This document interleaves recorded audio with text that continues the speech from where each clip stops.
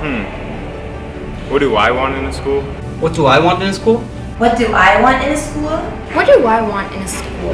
What do I want in a school? I want a school that would provide my child with a balance of academics, athletics, and activities. I would like a school that would prepare my children for the real world. I want a school with global education.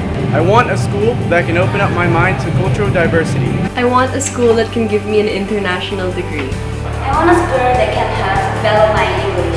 I want a school that uses actual online training. I want a school that can make me internationally competitive. I want a school that I can be proud of.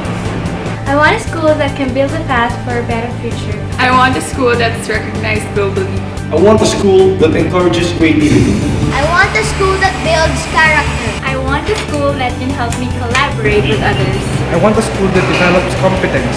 I want a school that will push me to achieve. I want a school that I can call a second home. And that's why. And that's why. That's why. And that's why. And that's why I chose Southville. Southville. Southville. Southville. Southville. Southville. Southville.